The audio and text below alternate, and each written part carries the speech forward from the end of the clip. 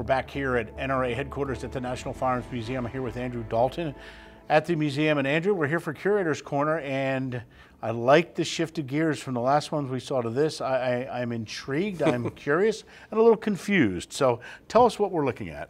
Well, we see this uh, this strange looking rifle on top here uh, with the big fish belly magazine. Right, that's Um, the confused part. And it, it's not something that you see normally.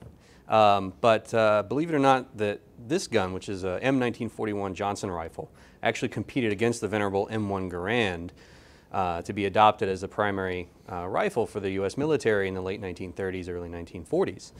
Um, so the guy that designed this rifle, um, Mr. Johnson, he was a, a Harvard graduate, Harvard Law, and you know, went and worked at Springfield Armory and oversaw, helped to oversee the development of the M1 Garand. Well, being a smart guy, he decides, "Yeah, I think the M1 Garand's a little flawed. I'm going to come up with my own design and submit I could it. do it better. Right. Uh, so what he came up with is this gun here. Uh, and what's really unique about this, aside from this strange-looking ma- internal magazine, is it is a delayed blowback rifle. So unlike the Garand, which is taps gas from the barrel and cycles the action that way, Right. this gun actually uses a short recoil delay. So if you can actually see, if I press on the barrel like that, Oh, wow.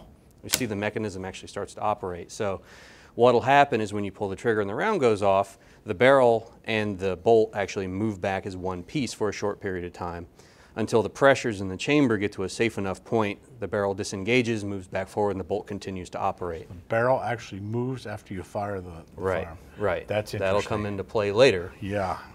um, which one of the reasons why this gun didn't make it and didn't beat the Garand. Um, so in the late 30s, uh, Johnson submits his rifle to be to compete against the Garand, which had already been adopted at that point. But uh, you know, he said, "Well, why don't you look take a look at mine?" And um, you know, they go through. There's a, a bunch of issues with his gun.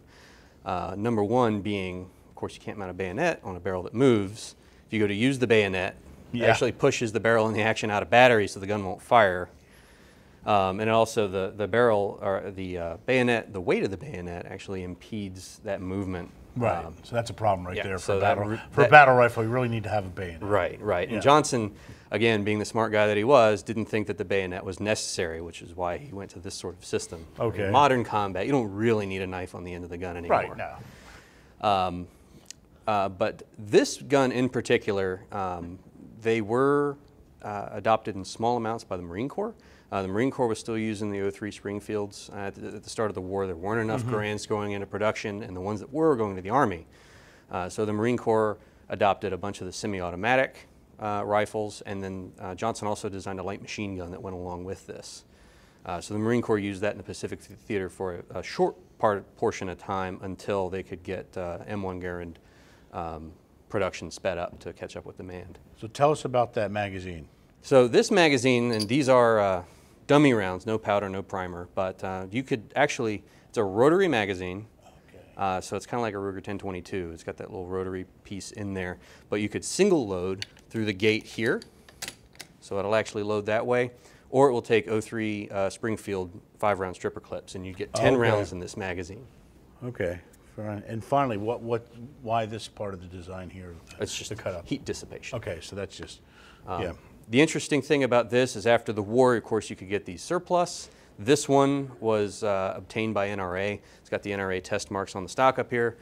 Uh, unfortunately, there was a fad after the Second World War where let's sporterize everything. Well, they sporterized this Johnson.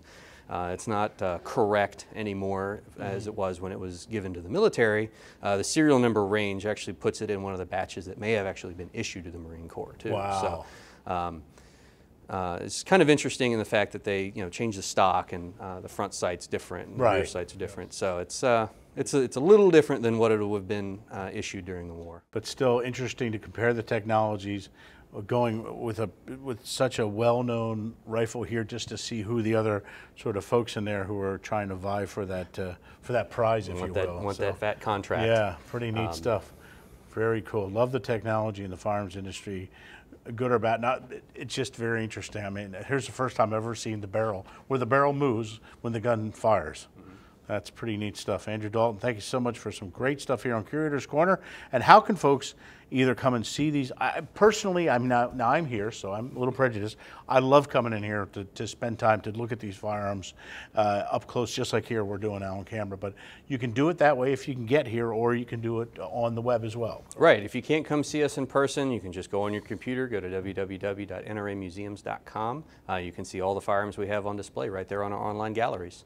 If not, you get here in the DC area, get over to Fairfax, Virginia, NRA headquarters, and, and, and do the twofer. Come to the museum, and then, oh, you do the threefer, you can go to the cafe and to the range. Yeah, we do here. have a cafe. And a range, too. Awesome. Andrew, thanks for so much for what you do, and thanks for being on Curator's Corner. Thank you, John.